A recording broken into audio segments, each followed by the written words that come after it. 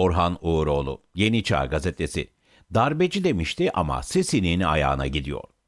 Recep Tayyip Erdoğan'ın başbakanlığı döneminde Mısır'da Müslüman kardeşler lideri Muhammed Mursi Cumhurbaşkanı seçildi.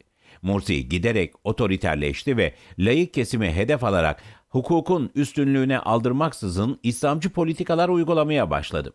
3 Temmuz 2013'te Genelkurmay Başkanı Abdülfettah El-Sisi komutasındaki Mısır Silahlı Kuvvetleri askeri darbe yaptı ve eylemcilere silahlı müdahalede bulundu. Müslüman kardeşler liderlerinden Muhammed El-Bitici'nin kızı Esma da hayatını kaybetti. Erdoğan sosyal medya hesabından dedi ki, Mısır'da şehit olan Esma'nın gözyaşı ümmetin gözyaşıdır. Ümmet ağlar gözyaşı döker de Erdoğan ağlamaz gözyaşı dökmez mi? Erdoğan'ın kızı Esra Albayrak Star gazetesinden Sibel Eraslan'a şöyle anlattı.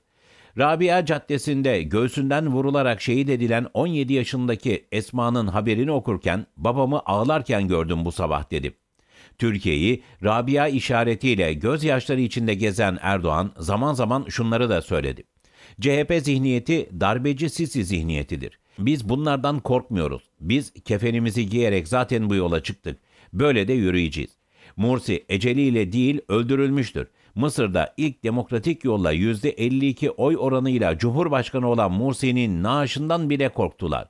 Uluslararası mahkemelerde Mısır'ın yargılanması için gereken ne varsa bunları yapacağız. Zira bizler hakkın ve haklının yanında olacağız. Zalimlerin yanında olamayız. Onların da karşısında olacağız. Değerli okurlarım, Erdoğan işte tam da budur. Neden mi? Türkiye ile Mısır'ın diplomatik ve ticari ilişkilerini 2013'ten 2024'e kadar 12 yıl donduran ve Doğu Akdeniz'deki petrol ve doğalgaz anlaşmalarını bu yüzden Yunanlılarla diğer ülkelere kaptıran Erdoğan ne yapıyor? Mısır Cumhurbaşkanı Abdülfettah El-Sisi ile görüşmek üzere yarın 14 Şubat 2024'te Mısır'a gidiyor. Darbeci dediği Sisi'nin ayağına neden gidiyor? 2014 Cumhurbaşkanlığı seçimi öncesi yaptığı mitinglerde Rabia işaretini ana tema yaparak oy toplayan da Erdoğan'dı. İstanbul Büyükşehir Belediye Başkanlığı seçimi öncesi Ekrem İmamoğlu için pazar günü mü Sisi mi diyeceğiz, Binali Yıldırım mı diyeceğiz diyen de Erdoğan'dı.